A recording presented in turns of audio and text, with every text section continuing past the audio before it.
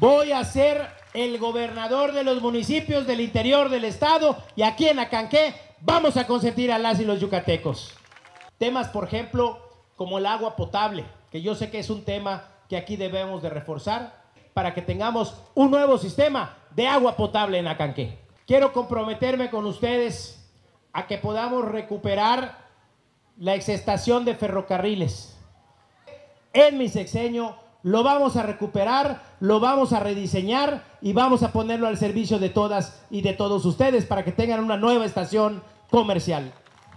Yo quiero que el Estado yucateco le garantice a las mamás que cuenten con un seguro de vida para que el Estado se haga cargo de sus hijos, de su educación, de su alimentación y vigilar que estén por el buen camino hasta que cumplan 18 años de edad en caso de que sean menores de edad